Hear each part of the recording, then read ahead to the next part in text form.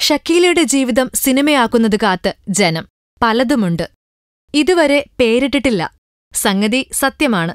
ഷക്കീലയുടെ അവിസ്മരണീയമായ ജീവിതം സിനിമയാക്കുന്നത് റിച്ച ചദ്ദയാണ്. ഇന്ദ്രജിത് ലങ്കേഷ് ആ സിനിമ സംവിധാനം ചെയ്യും.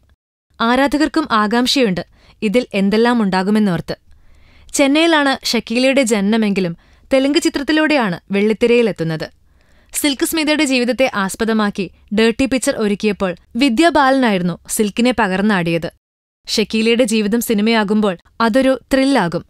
മലയത്തിപ്പെണ്ണിന്റെ തിരിച്ചുവരവ് എന്ന ചിത്രത്തിലൂടെയായിരുന്നു ഷക്കീല ഗ്ലാമർ ലോകത്തെത്തിയത്. കേരളത്തിലെ തിയേറ്ററുകൾ അടച്ചുപൂട്ടൽ ഭീഷണി നേരിടുന്ന കാലത്താണ് ഷക്കീലയുടെ അരങ്ങേറ്റം. അതോടെ അതൊരു തരംഗമായി. ഇടം വലം നോക്കാതെ കൗമാരക്കാർ മുതൽ വയോവൃദ്ധന്മാർ വരെ തിയേറ്ററുകളിലേക്ക് ഓടിയടുത്തു. ടിക്കറ്റ് തീർന്നാൽ സീറ്റ് വേണ്ട നിലത്തിരുന്ന് കാണാൻ വരെ അന്ന് ജനം തയ്യാറായി. ഇതിന്റെ മൊത്തം ക്രെഡിറ്റും ഷക്കീലയ്ക്ക് അവകാശപ്പെട്ടതായിരുന്നു. അവർ നിറഞ്ഞാടിയത് മൂന്ന് നാല് വർഷമാണ്. മോഹൻലാൽ വിജയ് വിക്രം എന്നിവർക്കൊപ്പവും ഷക്കീല അഭിനയിച്ചിട്ടുണ്ട്.